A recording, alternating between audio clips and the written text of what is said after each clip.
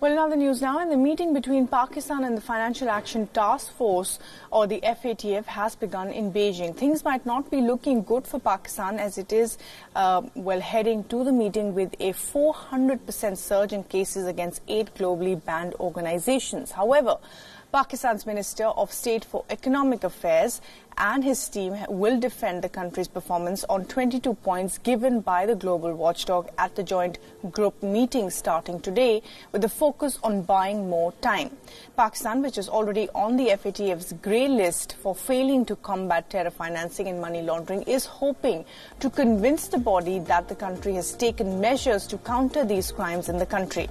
In its compliance report submitted first in December 2019 and then again on 8th of January 2020, uh, which uh, answered the 150 questions posed by the FATF regarding new Pakistani policies on money laundering. Pakistan has apprised the joint group of FATF that it has as many as 500 terror financing related cases that it has registered in Pakistan, out of which 55 ended up in conviction in the courts. Moreover, the FATF has also informed the State Bank of Pakistan that it has imposed penalties on defaulting banks and statutory sanctions regime was also implemented. The mandatory currency declaration scheme has also been implemented at all airports in the country.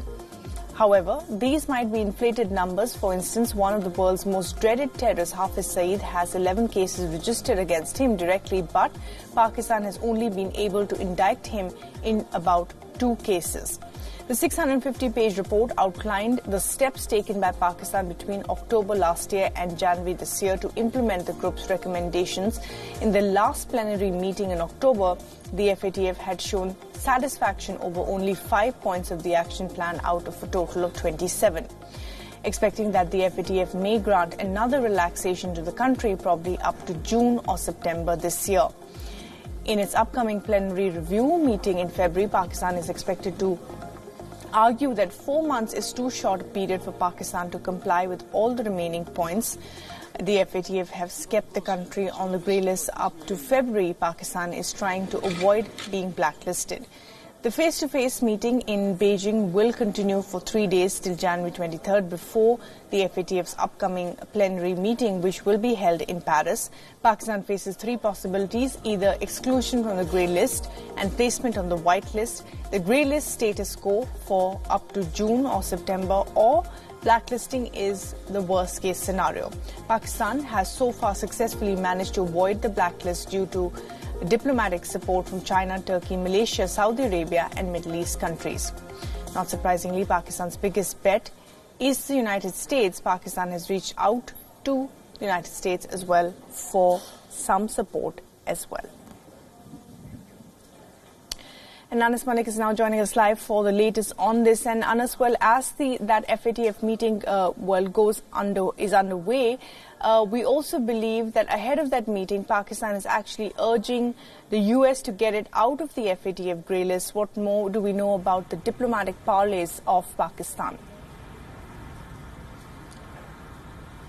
Well, absolutely, Bhairavi. The FATF's joint working group is currently meeting in Beijing. Now, this is that critical uh, meeting between Pakistan and the FATF joint working group because remember, this group has been tasked to look over Pakistan's progress on the 27 points that it had negotiated in uh, the June of 2018. It said that uh, Pakistan had negotiated back then that it would be implementing the uh, 18 points, uh, the 27 points in about 18 months. Those 18 months have ended, uh, will be ending on the 23rd 3rd of January and subsequently the FATF plenary will be meeting and deciding Pakistan's fate. Now Pakistan has only uh, shown progress on only five of the uh, agenda pointers that it had agreed upon and today uh, the FATF joint working group in a face-to-face meeting it has formally uh, commenced and the Pakistani uh, Minister for Economic Affairs is representing the Pakistani side. Now they are trying to uh, trying to buy some more time as what I've learned from sources in Islamabad that they say that it wouldn't be possible possible for them to implement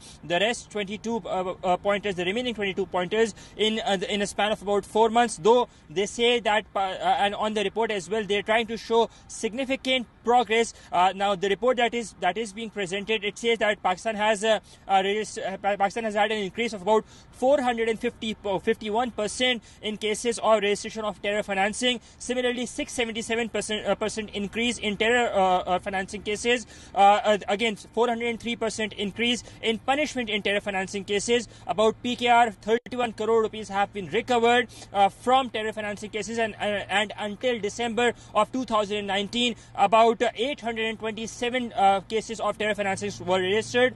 1104 arrests were done, out of which 196 punishments were done. Now, remember, there are about 34 individuals that Pakistan needs to act, eight organizations, eight banned organizations, particularly that it has to act against those organizations that were named by the FATF and as of now, uh, Pakistan Pakistani sides uh, uh, uh, Pakistani sides preference would be that they would be able to garner some more time or lure some more time. But for now, right. it remains that whether or not would they be able to convince the FATF or not, that remains to be seen in the Beijing Beijing's joint working group meeting. Yes, uh, yes, Belvi. All right, Anas, thanks very much indeed for joining us with the latest and sharing what exactly is Pakistan's plan ahead of the next FATF and the current one that's underway.